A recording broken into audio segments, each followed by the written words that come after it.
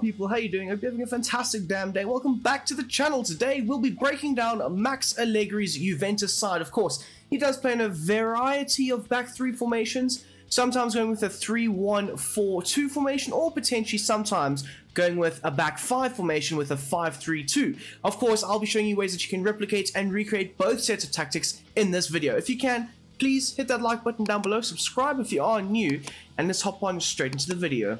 So for the formation going forward, I've gone with a 3-1-4-2 formation. So it's one goalkeeper, three centre backs, one DM, two central midfielders, two wider midfielders, and then of course two strikers. Now with the tactical vision under Max Allegri, they are very defensively astute and sound, and they look to try and you know break up and stifle anything that the opposition try and throw at them on the offensive side of things, of course. So for the tactical vision, I've gone with Gegen pressing. They are very structurally sound, yes, but they do look to try and implement a bit of a, a low block to mid-block press, where they aggressively look to try and press the midfield of the opposition once they get over the halfway line. So for the defensive style, when they turn the ball over, I've gone with pressing after possession loss. You want them to try and be very counterintuitive when they do lose the ball to try and win the ball back and then quickly transition into the attack. Of course, you will notice that with this side, they're quite happy for the opposition to try and have the ball, yes, but again, they'll make it very uncomfortable for them nonetheless. So with your possession stats, there won't be, you know, 50 plus percentage in the, the possession. But again, like I say, defensively astute, compact at the back, and that's more or less what you're going for. So with the team width, it's set to 30, and the team depth, it's set to 40, making sure it's a bit of a, a mid to, to low block approach, uh, making sure that your defenders aren't really getting too high up the field, and they, in turn, can't actually be exposed with a through ball or a quick counter attack from the opposition. On the offensive side of things, the build-up play is set to fast build-up. You are looking to try and quickly transition into the attack when you do turn that ball over. So it doesn't matter where you are in the field. You'll have your runners busting a gut to get forward, to try and beat the off or the opposition's defensive line and get them behind them more times than not. For the chance creation, I have gone with direct passing. The offensive players, like your two strikers, as well as your wider players, they'll make those runs in behind the opposition's backline, looking to try and get the best of them more times than not. As you can see for the width, it is set to 70. This does open up a bit more space between the lines for your attackers as well as your midfielders to try and work into. And then as for players in the box, I've set it to around 5. This more or less means that you'll have at least your two attackers in the box as well as a third potential player. More times than not, it will be Adrien Rabiot making that advanced run into the attacking third. As for corners and free kicks, as for always, it is set to 4. So starting off with the instructions at the back, we've got the likes of Szczesny here set to come for crosses and having a balanced approach for his saving outside of the box. It goes without saying you are playing a mid to low block at times. You don't need him being adventurous and getting outside of his his zone or his area, um, trying to make those saves or reclaim the ball. You just need your defenders to do their job, have the recovery pace, and I think all will be fine. But in terms of the saving um, on crosses, he is very good at doing so, very good at claiming that aerial ball when it is whipped into the box from a corner or a free kick um, or just a regular cross. He is very decent at claiming that ball and alleviating the stress and the pressure on the back line. Now, speaking of your back line, we've got the likes of Bremer and Gatti. Um, so in order to try and keep a, a very compact um, and, and know-how structure, especially in your backline, I've gone with conservative interceptions for both Bremer and Gatti.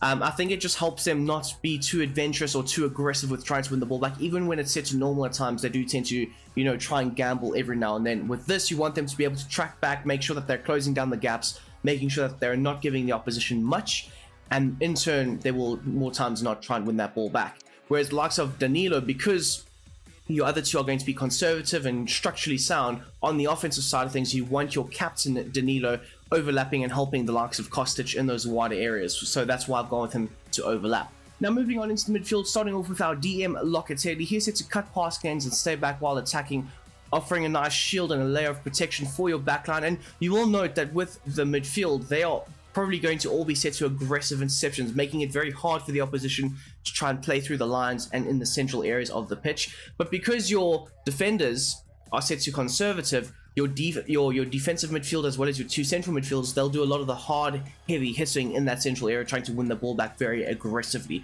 Which is why the interceptions are set to aggressive. As you can see here for the positioning freedom, it is set to deep line playmaker. You want your DM to be able to collect the ball off of the goalkeeper or the backline, progress it forward, hit those um, runners in transition, try and get the ball into them as fast as possible. The defensive positioning is set to cover the center. Now you'll see with all the central midfielders as well. In order to try and stifle the opposition's build-up play, more particularly in the midfield areas. You want them to all cover the center, be very central, very centrally focused, breaking up anything that is in that central area. Moving on to the likes of Rabiot and Miretti, similar roles but slightly different, so bear with me with this. The likes of Rabiot, he'll be a bit more of the box-to-box -box player, but also breaking into the box. Like I said earlier, with the players in the box being set to 5, it's more or less going to be your attacking players, so your Chiesa and Vlahovic or whoever you have in your front line. And then occasionally it will be the likes of Rabiot breaking in, trying to tire in those good headers whipped in from crosses, of course. Um, and you want him attacking those potential cutback opportunities as well. Interceptions is set to normal, so because he does a bit more of the attacking outlets, you won't have him being set to aggressive, whereas the likes of Locatelli and Miretti, they'll be a bit more of the engaging, aggressive types on the defensive side of things. The defensive position, though, is still set to cover the center, as well as the positioning freedom is set to stick to position. As you can see, for the likes of Miretti, Still set to a box-to-box -box player, yes, but he won't always break into the box. He'll stay on the edge of the area looking to, to rotate or try and facilitate for any of the other attacking players making those deeper runs into the final third. Aggressive interceptions, just like with Locatelli, are set to be on trying to stifle the opposition's ball to play in those central areas. Of course, the likes of Rabiot will look to also do the same, but not as aggressive as what Locatelli and Miretti will do. That's why I've set um, more or less Rabiot to normal, because I think on the defensive side of things, he doesn't offer as much as what the other two do. Um, in terms of the defensive positioning, it is still set to cover the center as well as stick to position. Very structurally sound in that midfield department. Moving out to our right and left midfielders, both of them have the same set of instructions. So we'll start with Weah. He's set to come back on defense, stay wide, and of course having a balanced support for his support runs.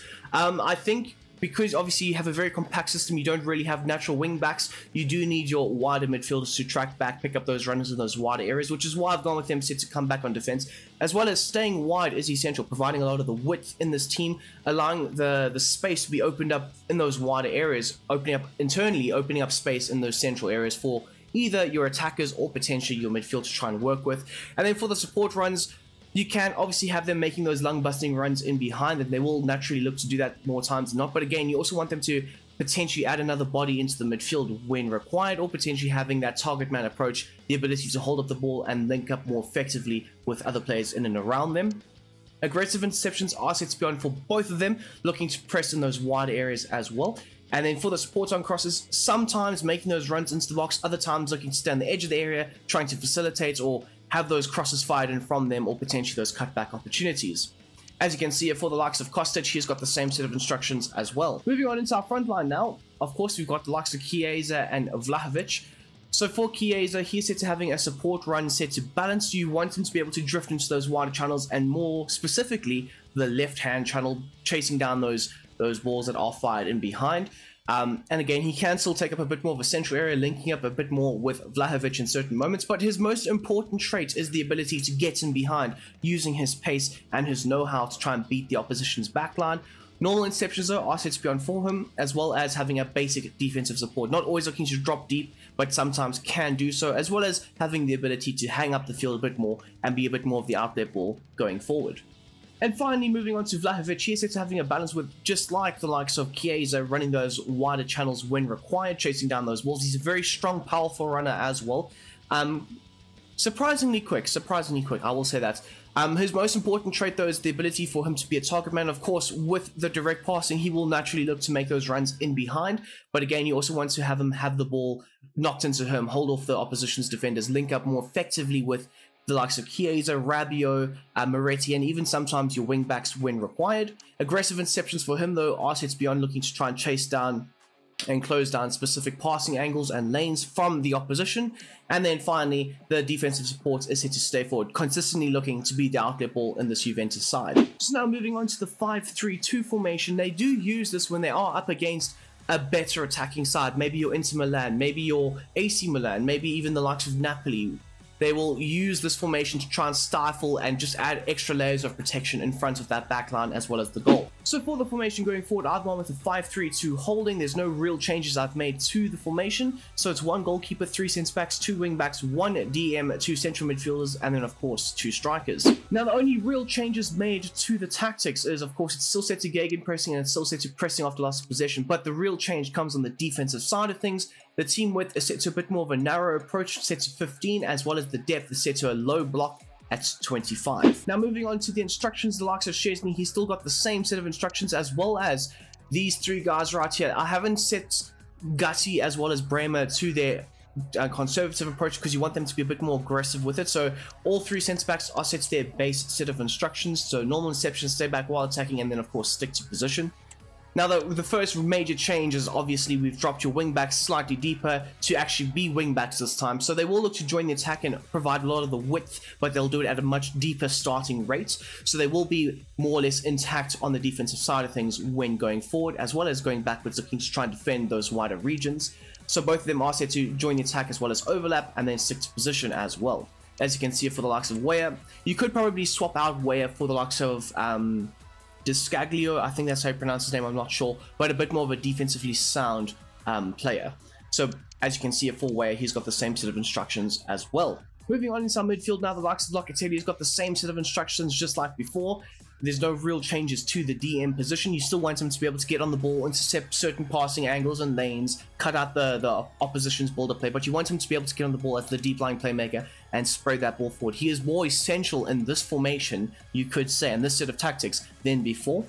And then as for the likes of Rabiot, there are a few changes. He won't be getting forward as much. He'll look to stay back, be a bit more intact with the, the tactics and the formation, making sure it's structurally sound in those central areas. But for the support on crosses, it is somewhat allowed for him to be able to break into the box when required if you do have the ball and you are looking to progress it forward. Aggressive interceptions, though, this time, are set to be on. Him to be able to be very imposing on the opposition's offensive ball to play, especially in those central areas. And speaking of which, the defensive positioning is still set to cover the center, looking to clog up those passing lanes in that central um, part of the pitch and then the positioning freedom is still set to stick to position. As you can see for Miretti, very similar role as well, although the only difference is he won't be able to get into the box. He'll look to still try and stay on the edge of the area, looking to try and facilitate for the players in and around the attacking third. And then finally, we move on to our two attackers who have the same set of instructions as well. Both Chiesa and Vlahovic will be looking to consistently make those attacking runs in behind, looking to get into that attacking space when the defense is pressing very high up. Of course, when you use this formation, you are looking to invite pressure, which means that the opposition will try and add players to that pressurizing line, the attacking phase, and that does leave them very thin at the back. So you want your two quick players up front making those runs in behind all the time. So we'll start off with Vlahovic, set to having a balanced width as well. Getting in behind is essential. Aggressive interceptions. They're looking to try and close down the opposition's backline very, very aggressively. If they can uh, win the ball back, they can transition very effectively and try and attack the goal. And then the defensive positioning is set to stay forward. As you can see for Chiesa, he will slightly have a different role, but the ability to drop when required into the midfield and help out and provide another layer of support and defensive pressure for your team going forward. So yes, people, that is my version of Max Allegri's Juventus side. If you have enjoyed this video, please hit that like button. If you're not subscribed, we are on the road to 3,000 subscribers before the end of the year. So please, if you aren't subscribed, hit that big red button. That would be fan-damn-tastic. And don't forget, we have a, a career mode video coming out later on today. It's very entertaining. Don't, believe me, it is. Um, a lot of stress and pressure went into that uh, th th those five games. Anyway, until the next time, people, I hope you have a damn great day. I'm out.